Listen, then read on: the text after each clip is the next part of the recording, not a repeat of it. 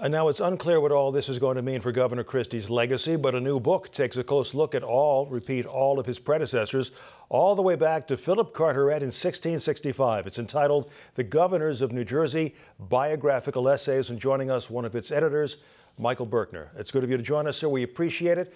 Uh, when, you, when you take a look at this position, which has been called the most powerful governor's job in the country, do the, do the people who occupy that position frequently live up to that kind of billing?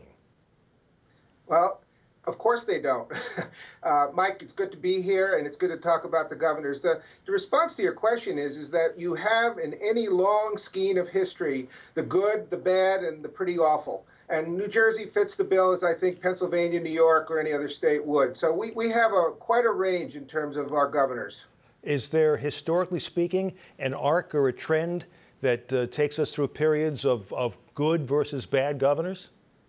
I would say not really. I would say that human nature being what it is and, and uh, power being what it is, it really doesn't matter what era you're in. The difference is the constitutional arrangements uh, provide different opportunities for governors to exercise power. So the last uh, 50 or more years of New Jersey history has had a much more powerful governor. We didn't have a powerful governor until the Constitution of 1947, and that has made a big difference. Talk to me about this modern era and the people who have occupied these positions.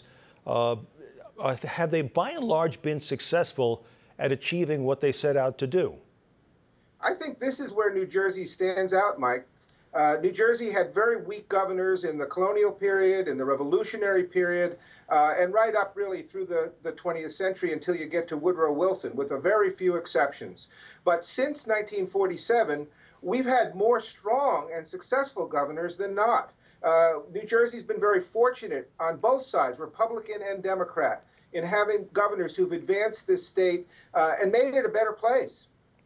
Naming some names, Brendan Byrne, for instance. Uh, we just we well, just had uh, his 90th birthday, and he seems to be as involved as he possibly can be.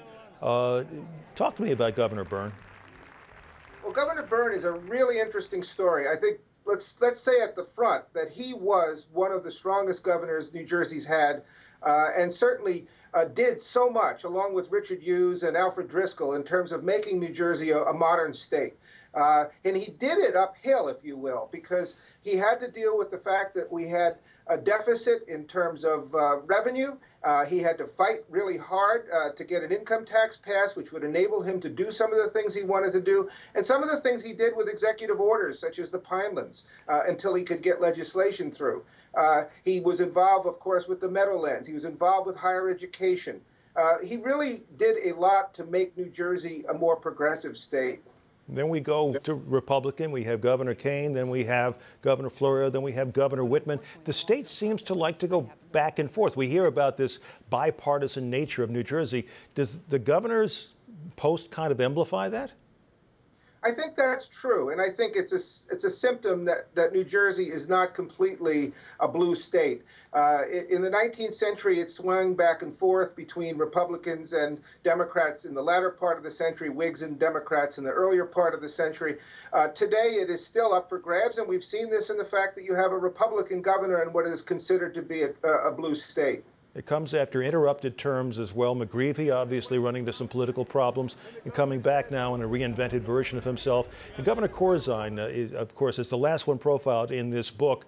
Uh, one-term governor who both had political problems and then went on to uh, misfortune as well, tragically within his own family and uh, within his own career. Yeah, that's true. And it would seem the, the first draft on, on Corzine is not particularly favorable to his governorship. Uh, he had some good ideas, he did accomplish some things, uh, but basically the voters decided they didn't like what they had and they got rid of him and they, they elected Chris Christie.